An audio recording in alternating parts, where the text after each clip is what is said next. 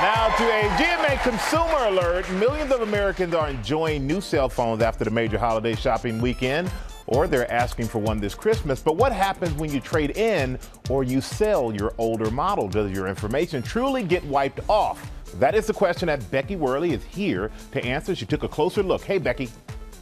Hey, Michael, you have your whole life on your phone, so when you sell it, it's key to erase all that data.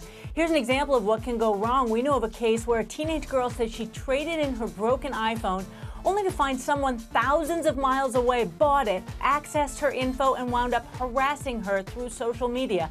And that's just the start of it. When it's time to upgrade and trade in or sell your phone, don't we all experience this? I was going to sell this for a few bucks online, but I don't know how to make sure my information's deleted. This is kind of a wide array of iPhone 6s, 7s. Enter OnTrack, the world's largest data recovery company. We're inside its top secret clean room where they restore and wipe data from phones.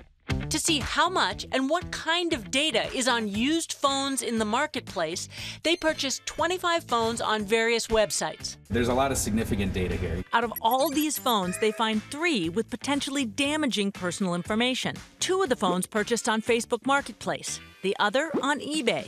Engineer Steve Hershka shows us what they found. Here we have his Hotmail account. I could request a, a password reset. I could set it to whatever I want. There's a lot of damage I could do on this phone. That's not all. OnTrack finds text messages, contacts, emails, and pictures. Pay stubs, looks like ADP pay stubs. Holy uh, smokes. Bank of America. So I could request a copy of my W 2, I'd get their whole Sure. social security number. Yep. One phone is still logged into Facebook, email, has passwords saved in the Notes app, and some very personal photos. Yikes. We have all the photos from the camera roll uh, that include some risque photos that I'm guessing a lot of people wouldn't want. Oh, man. When OnTrack purchased the phone, it had a damaged screen. But after plugging it into a computer, they had full access. It's really important for people to not sell broken phones if they know that it hasn't been wiped. OnTrack says many people don't realize a phone has keys to unlock your financial apps and all your other online accounts. One of the issues is your phone stores passwords. Yes, it is. So they, they store passwords and they store it in plain text. Check this out. By going to settings in your iPhone, then accounts and passwords, you can get to all of the saved passwords. And they're not disguised.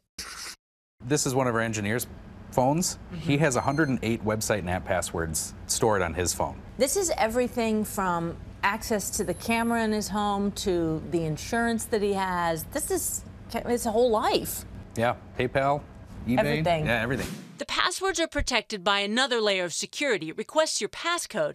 But in our engineer's case, that might not protect you. His passcode, he told you, but it's Zero, zero, zero, zero.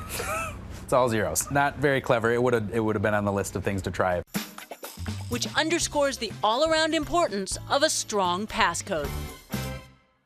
There's so much data saved on your phone. Facebook and eBay remind customers to wipe their phones before selling them. And Apple says it only takes a few easy steps to do that. So here's how you go to Settings, General, Reset, and erase all content. You can do that in the phone, or if the screen's broken, Michael, plug it into your computer and see if you can do it in iTunes. So important. Oh, very important, Becky. Thank you so much. Really appreciate that information, especially with all the new phones being sold for the for the holiday. All right, thank you. And you can get instructions on how to safely erase your phone on our website.